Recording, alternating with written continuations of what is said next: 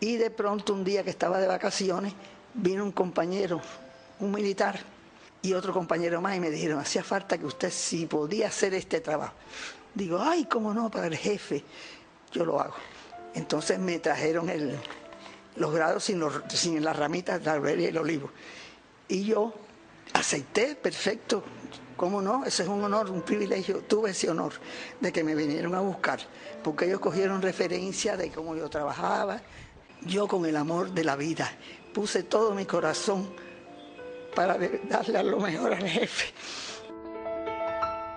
Lucía Lucinda Betancourt Montenegro es el nombre en su identificación de nacimiento, pero para su familia, sus amigos y el jefe, ella es Dinora, la bordadora de los grados en el uniforme del comandante Fidel Castro. Pero después fue para toda la vida, en mis vacaciones, en todo tiempo, cuando me retiré de lo que es el trabajo mío, que era un taller de bordado dije, bueno, me tengo que retirar porque ya yo tenía la vista un poquito gastada ya y el, organismo. Entonces me dijeron, ay, queremos ver si usted puede seguir trabajando en su casa.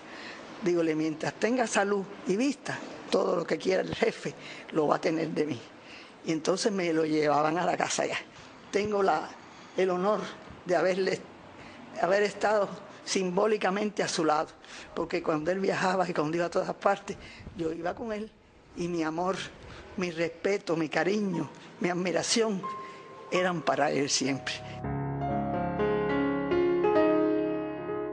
Durante 50 años, Dinora bordó con respeto y lealtad absoluta el rombo rojinegro, la estrella a relieve y las ramas de olivo y laurel que el líder de la revolución cubana llevó sobre sus hombros. Entonces, ellos me traían la charretera marcada, con dibujos, el dibujo pero que para dibujar eso costaba mucho trabajo y el dibujo lo hacían un poco de las estrellas, hay que medirle la cantidad de tamaño y el rombo.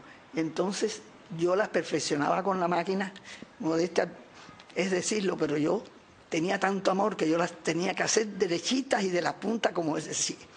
Ellos me la traían dibujadas. Cuando yo terminaba de trabajar, recogían la charretera. Y me decían, esto es, era para ayer entonces yo estaba de vacaciones y yo tenía un pasillito que daba a la calle y yo miraba, porque al momento llegaban corriendo. Entonces, yo uso hilo 60 mercerizado. Era ancla cuando aquello. Después era DMC, cualquier marca de esas que tiene que ser mercerizado.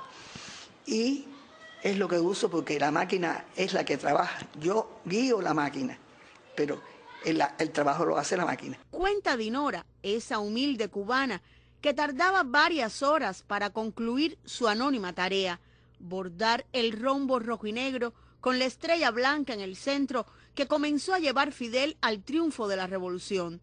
Años después, al dibujo original se le incorporaron las ramas de olivo y laurel. Y entonces a la camisa había que hacerle el mismo bordado, exacto igual había que hacerle el rombo y hacerle todos sus atributos. Cuando empezó el laurel y el olivo, se le, me vinieron a buscar y me dijeron, mira, aquí hay que, hay que agregarle esto a los grados, a ver si usted, dile, ay, no se preocupe que se le va a agregar. Y se lo hice ya después con el laurel y el olivo.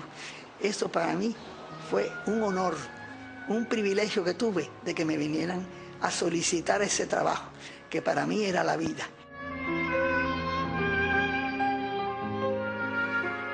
Rememora Dinora que durante todas estas décadas en una ocasión se enfermó y buscó con total discreción que otra persona hiciera el trabajo por ella.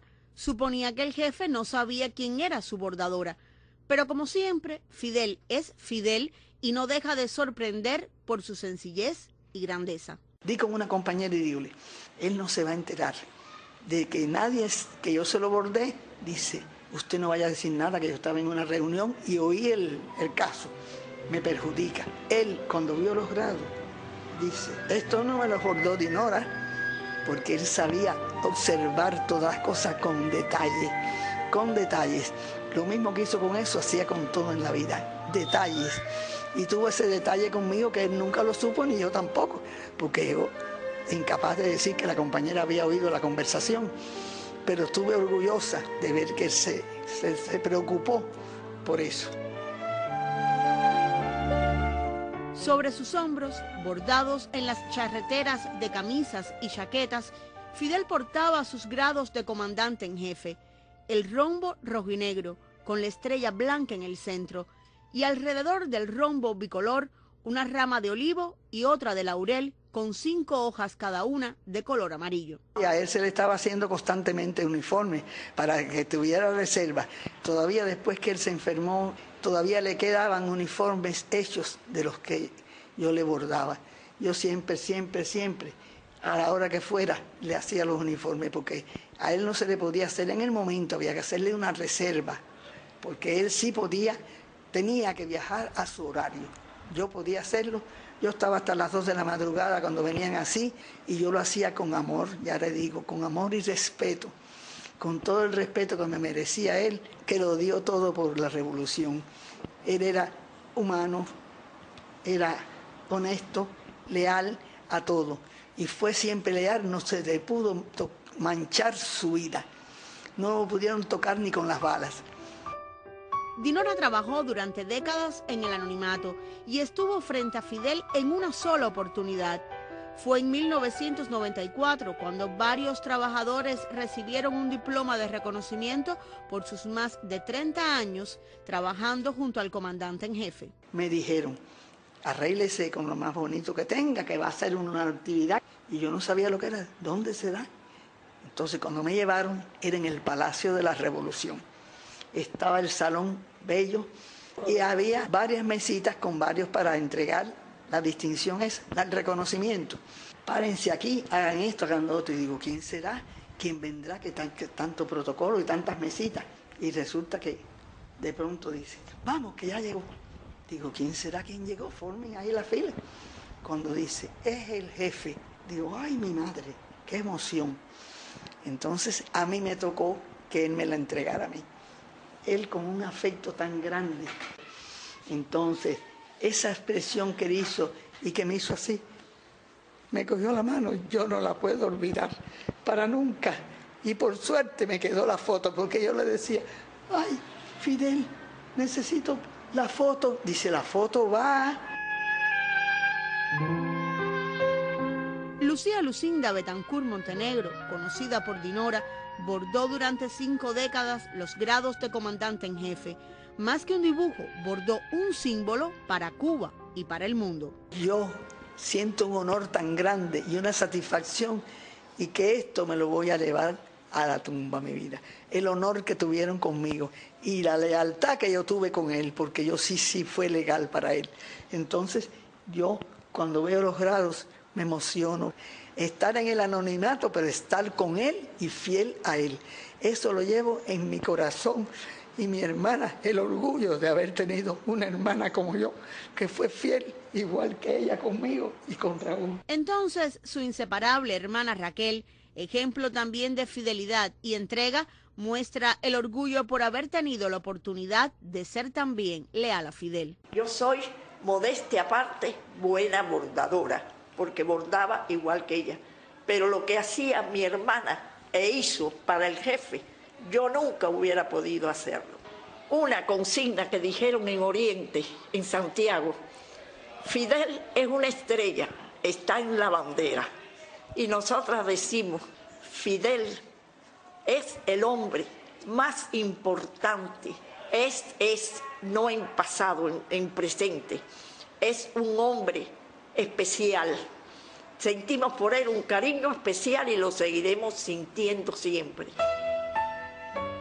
Tanto para Raquel como para Dinora, Cuba debe hoy, más que nunca, garantizar la continuidad de la revolución. A Raúl hay que apoyarlo. Nuestro general de ejército fue fiel a su hermano y a la revolución y tenemos que ser fiel con él, igual que fuimos con el jefe. Su esfuerzo hay que recompensarlo con la lealtad. Eso es lo que hace falta, ser leal a la patria, saber lo que es el escudo, la bandera, los signos, los atributos, todo enseñárselo a los niños desde chiquitos para que aprendan a amar la patria. Decirle todo eso y transmitírselo a la juventud, que hay que luchar, porque él físicamente no está, pero están sus principios, sus ideas, sus logros, que los hizo para el pueblo, para nosotros. Nosotras con 85 años queremos luchar hasta el final. Y al general de ejército, yo le digo siempre, le decimos eso. Estamos dispuestas a todo, aunque tenga edad, pero exhorto a la, exhortamos, porque mi hermana es como si fuera yo, que todo lo que tengan, como tienen ahora, lo defiendan y luchen, porque el jefe lo hizo para el bienestar del pueblo, no para el bienestar de él. Él casi no comía, casi no dormía por, por ayudar a su pueblo y logró irse de este mundo de entre nosotros, que no se fue para siempre, se quedaron sus ideas. Se logró, lo logró verlo todo hecho. Con fidelidad absoluta y un inmenso amor, Lucía Lucinda Betancur Montenegro, conocida como Dinora, bordó los grados de comandante en jefe en el uniforme verde olivo de Fidel. Ese ha sido el mayor orgullo en su humilde vida. Yo lo único que tengo es eso, que eso es el honor más grande que yo tuve en mi vida, porque al no tener hijos ni familia, ese fue el honor más grande que tuve en mi vida, ser la que le hizo su trabajo, sus bordados, y que conmigo en mi corazón iban los grados de él a todas partes. Lo quería yo para que él supiera que la fidelidad mía no era de interés, era por ser fiel a sus criterios y a sus principios, que son los más grandes que existen en el mundo. Tiene de todo humanidad, valor. Como decía este pelotero, tiene las tres E, corazón, coraje y la tercera entre comillas, punto suspensivo. Y Dinora me sorprende cuando pone ante mis ojos, aunque solo sea por unos minutos, un símbolo nacional y universal, la charretera de Fidel, con sus grados de comandante en jefe. Y entonces, al estrechar en mis manos el rombo rojinegro, con la estrella al centro y las ramas de olivo y laurel, siento bien de cerca lo que conoce su pueblo. Fidel es Fidel, paradigma de sencillez y de grandeza.